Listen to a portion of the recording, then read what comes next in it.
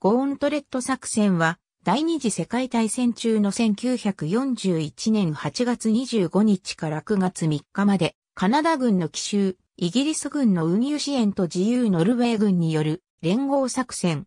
作戦は、北極点から600マイル南にあるノルウェー領スバールバル諸島のスピッツベルゲン島で行われ、成功した。ガントレット作戦とも。作戦の目的は、スピッツベルゲン島の炭鉱及びその設備の破壊だった。炭鉱はノルウェー及びソビエト連邦が所有、経営していたが、両国とも炭鉱の破壊と自国民の避難に同意した。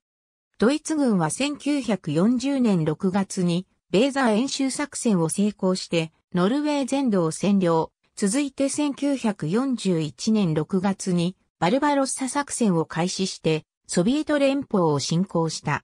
イギリス首相ウィンストン・チャーチルはすぐさまソ連と同盟した。ソ連がロシア北部へのイギリス海軍の進駐を要求したため、フィリップ・ビアン少将が現地調査にムルマンスクへ向かった。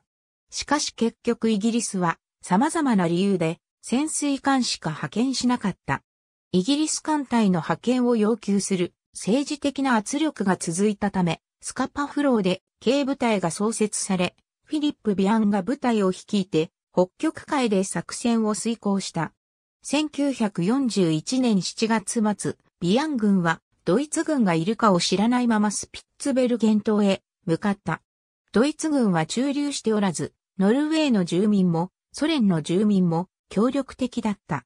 ノルウェー人のラグンバルド・タンバー隊員は代表としてロングイエルビーンに残り、軽部隊は自由ノルウェー軍の志願兵70人と石炭船1隻を連れてイギリスへ帰った。ドイツ軍はこの動きを全く察知できなかった。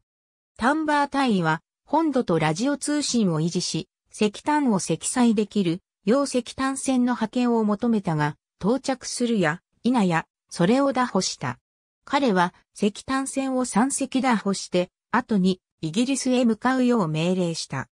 イギリスへ戻る道中、軽部隊は8月1日にビュルネー島へ向かって、そこの側溝所を破壊して、ノルウェー人の職員を避難させた。この行動で、ドイツ軍はようやく連合国の動きを察知、軽部隊を尾行した。ビアンは、ロンドンへ戻り参謀総長と会談した。彼のアドバイスは、軍事占領は可能だが、海が氷結するため、海軍基地に適しない、というものだった。チャーチルは、計画を立てるよう求がした。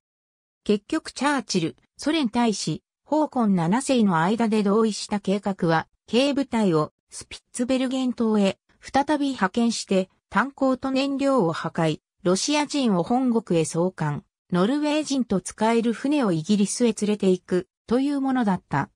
地上部隊としてニコ大隊が上陸軍として指定されたが、ドイツ人がいないことがわかると一個大隊に減らされた。部隊は AE ポッツ准将率いる第2カナダ不評旅団、3個不評中隊、ノルウェー人部隊で構成された。炭鉱解体と運輸支援には解体の経験があるイギリスの県と要塞工兵部隊が派遣された。合計は527人のカナダ人を含み645人だった。エンプレス・オブ・カナダが兵員輸送船として使用され、軽部隊の艦船が護衛を務めた。フィリップ・ビアンが引き続き指揮官を務めた。艦隊は8月19日に出発した。部隊は8月25日に抵抗を受けずに上陸し、島の住民に歓迎された。バレンツブルクでの破壊が終わった後、ロシア人炭鉱夫2000人はその財産と共に、エンプレス・オブ・カナダに乗って、アルハンゲリスクへ移動した。ナイジェリアが護衛をした。アルハンゲリスクには200人の自由フランス軍の兵士が待っていた。彼らはドイツの捕虜になっていたが脱出して乗船、イギリスへ向かった。一方、軽部隊や解体部隊の残りはロングイエールビーンへ向かった。9月3日、戦隊はアルハンゲリスクから戻り、連合軍全軍と現地人800人及びソリーヌ15頭が集結した。無線局2所がこの時に破壊されたが、その直前までドイツ偵察機よけとしてあたりがノームという嘘の放送をした。解体部隊は炭鉱をすべて破壊、さらに石炭45万トン、燃料27万5チエガロンを破壊した。1000トンの石炭が連合国の船の補給用として残された。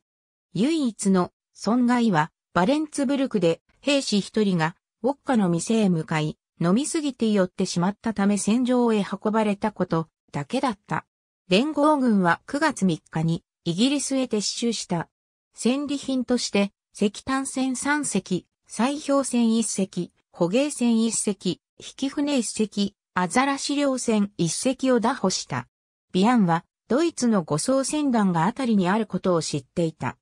駆逐艦5隻が護衛を継続しつつ、軽巡洋艦2隻は9月7日に護送船団の護衛艦をハマーフィヨルドで攻撃、砲術練習艦のブレムゼを撃沈した。戦闘中にナイジェリアの選手が損傷し、はじめは昇格攻撃によるものと報されたが、後に魚雷によるものと判明した。ありがとうございます。